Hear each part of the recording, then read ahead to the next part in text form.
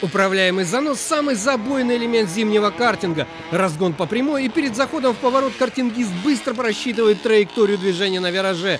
Внутренний радиус надежнее, но нужно уметь сбросить обороты, а затем газануть. Внешний рискованный, но скорость более стабильна. Можно еще и скомбинировать. Соответствующее моменту решения нужно принять за считанные секунды.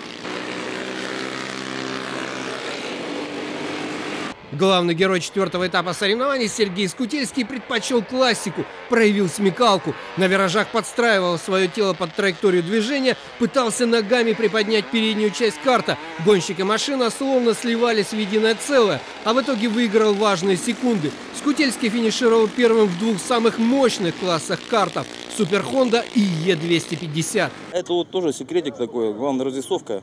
Чем больше нагрузка на заднюю ось, больше сцепления с дорогой. Вот, и за счет этого тоже поддерживается лидерство.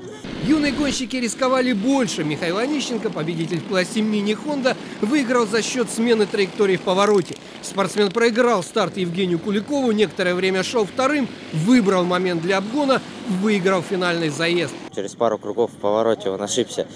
Ну, я воспользовался моментом и обошел по внутренней траектории. Следующая гонка у картингистов 8 февраля. Судя по прогнозу погоды, трасса станет более жесткой и скользкой. Будет рубка. Владимир Стомин, Сергей Гаврилов, Антенна 7.